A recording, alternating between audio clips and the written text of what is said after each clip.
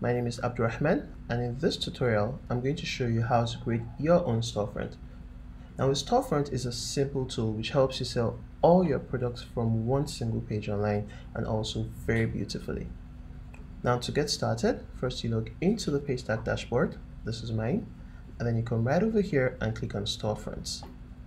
Now if like me you're creating your very first storefront, you're going to see a page like this and then you click on plus new storefront. When you do, you're supposed to enter the name of your storefront. So in my case, I want it to be the style shop. Next, you set your currency.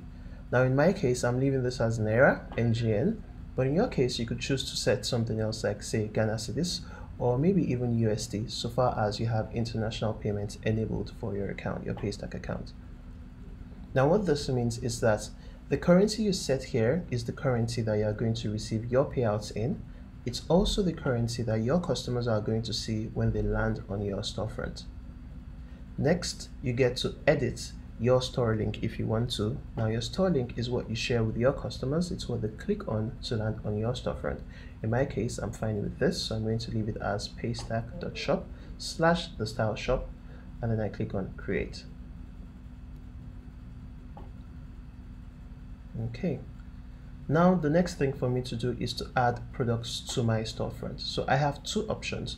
Option one is to set to select from a list of products that I may have created in the past, right? So in this case, I have created a number of products. I could simply select all of them and add them to my storefront. Or if you have not created any product, if you hadn't created any product before, you simply come right over here and click on plus new product. So let's do this first. Let's create a new product right from scratch. So plus new product. And then here, you type in the name of your product so in my case, let's call our products wine colored sneakers, right? And then um, you add a description. So in my case, I want my description to be a pair of comfortable and durable, let's say wine colored sneakers. Okay. And now for the price, let's say this pair of sneakers costs 4,000 naira. And for our quantity, um, this is the number of sneakers that you have in stock the number of products you have in stock so it's limited in my case so limited say I have 20 pairs right and then here you get to select if this product contains one or more physical goods. So in my case I'm selling a pair of sneakers obviously that's a physical good. And then I, I click on this toggle right here. Now if you are selling something like say an ebook which is not a physical product you would untoggle this. So this is how you would leave it. And why this is important is because it tells Paystack that since this is a physical product please collect delivery address for me when customers are trying to pay for it right? So obviously if you're selling something physical like a pair of sneakers you want to be able to collect your customer's delivery address so you know where to deliver this physical product to. Next you click on next.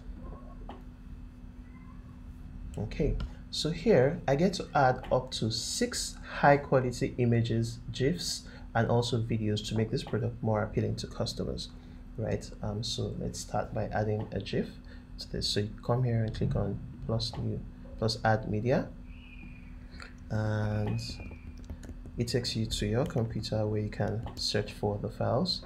So let's add this GIF here.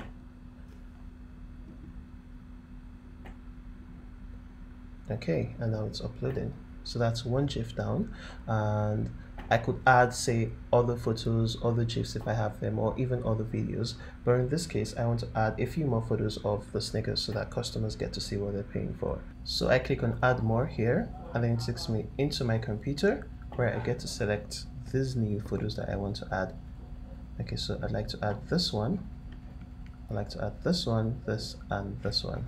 So I could add them one by one, but in this case, I want to select everything at once and then add them all at once. Okay, so it's taking a while to upload. We're just going to wait. So again, remember, you can add up to six high quality images, GIFs, and videos to make this product more appealing to your customers. And all the photos have been uploaded. And now we're going to just click on save to continue.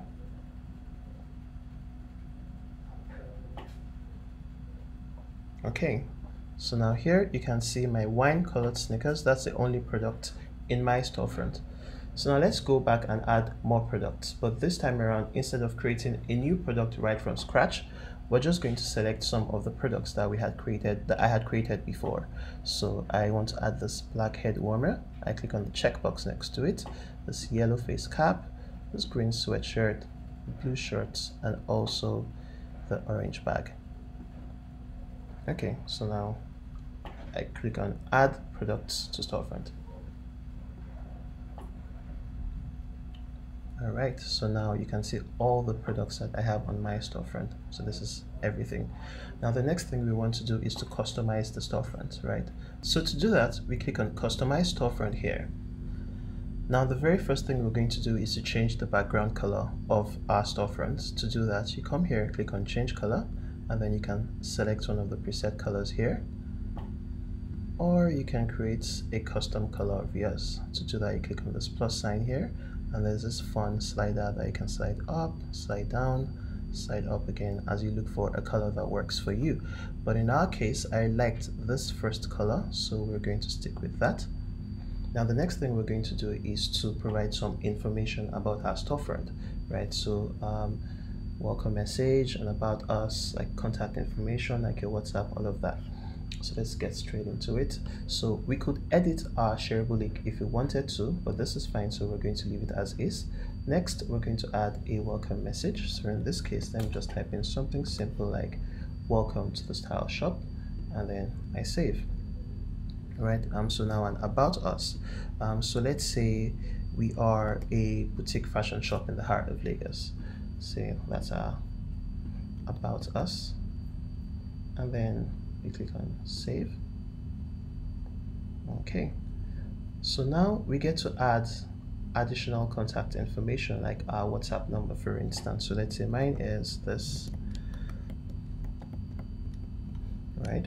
And then say it's the same. My whatsapp number is also my phone number so i'm just doing a copy and paste here and here you have it. So here we have our whatsapp number our phone number and also our email address. So let's click on save now the next thing we'll do is to add social media accounts for the style shop, right? So you come here and click on add. So let's say our Instagram handle is style shop. You simply enter it here, style shop, and this is the same for Facebook, and it says the same for Twitter too, right? So you do all of that, and then you click on save. Okay, so now you've provided all this information. Let's see what the customer sees, what it looks like to the customer when if they were to buy from you. So to do that, we come right over here and click on preview. Okay, so this is what the customer sees when they click on your storefront. So you have the name of your storefront here and then all the products that you're selling here. So let's try to say buy a product, right? So this wine colored sneakers, for instance. Um, you get to select the quantity, the number of quantity that you want. Um, you can add to bag, right? And then you just keep shopping. So let's keep let's close this while we keep shopping. So here you have the name of your storefront. You have the welcome message. Here you have the about us message which you wrote, right? And then here is your email address, your phone number, and here your Twitter account. So they can click here, go to your Twitter, your Instagram, your Facebook, or click here to chat with you right? So let's close this. It's the same thing you have right over here. So your instagram account your twitter account facebook and also whatsapp. So let's go back to the paystack dashboard now and let's continue our setup. So the next thing we're going to do is come right over here and click on delivery to set our delivery preferences right? Um so here um, our delivery address do we want to collect it? Yes required so let's leave it as that and also do we want to collect delivery notes? Yes so we leave it as or let's make this optional. So we leave it as optional but you could disable it and you could make it compulsory for your paying customers to add a delivery note. Let's just leave that as optional. So here now we are going to select uh, we are going to set the delivery fees for all the locations that we deliver to. So um, this is a business in Nigeria for instance.